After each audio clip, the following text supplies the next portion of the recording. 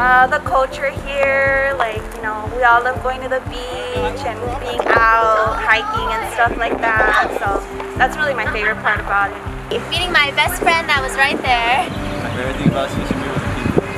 My favorite thing about CCMB is the small community, the great teachers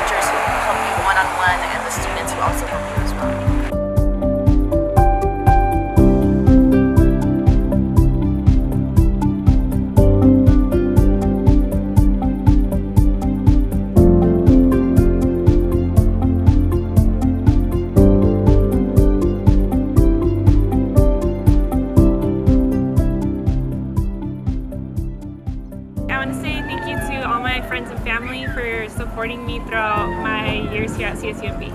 I would say Dr. Lin.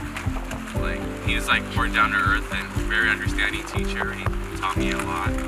Thank you to Jennifer Cato for helping me with capstone and microbiology. You've been the best.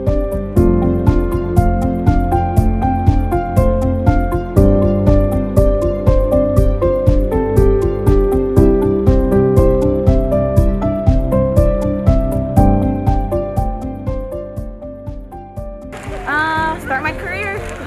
Work really hard.